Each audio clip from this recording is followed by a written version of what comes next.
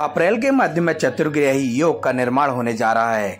यह योग शुक्र, बुध, मंगल एवं राहु की युति से बनेगा, जिससे कुछ राशियों के धन संपत्ति, उन्नति एवं सफलता के मार्ग खुलेंगे। इसके साथ ही इन लोगों को नौकरी में प्रमोशन और इंक्रीमेंट के भी योग बनेंगे। तो वहीं ज्योतिष आचार्य पंडित पंकज पाठक से जानिए, किन राशियों के लिए यह चतुर्ग्रही योग शुभ होने वाला है। चतुर्ग्रही योग जो बनने जा रहा है, यह धन ऐश्वर्य के जो दाता शुक्र हैं और बुद्धि के दाता, बुद्ध के साथ मंगल और राहु की जो युति होने जा रही है, उस युति के कारण यह चतुर्ग्रही योग होने जा रहा है। तेईस अप्रैल के दिन शुक्र, मंगल बुद्ध राहु, ये चार ग्रह जो हैं, एक राशि, मीन राशि में विराजमान रहेंगे।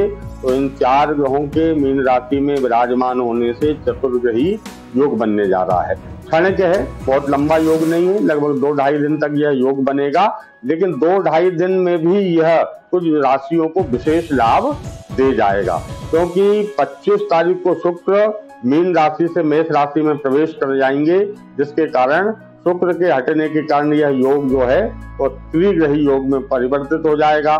तो हम बात कर रहे हैं चतुर्ग्रही योग का। अप्रैल में कुछ दिन के लिए चतुर्ग्रही योग बनने जा रहा है यह योग शुक्र बुद्ध मंगल, राहु के मीन राशि में आने के कारण बनने जा रहा है, जिसके कारण कुछ राशियों को विशेष धन लाभ, संपत्ति में वृद्धि, उन्नति, सफलता, विजय के योग हैं, प्रमोशन और इंक्रीमेंट इत्यादि के भी योग हैं। यह योग जो है, कर्क राशि के लिए नवम भाव में, अर्थात भाव भाव में, भाग्य भाव में बनने जा रहा है।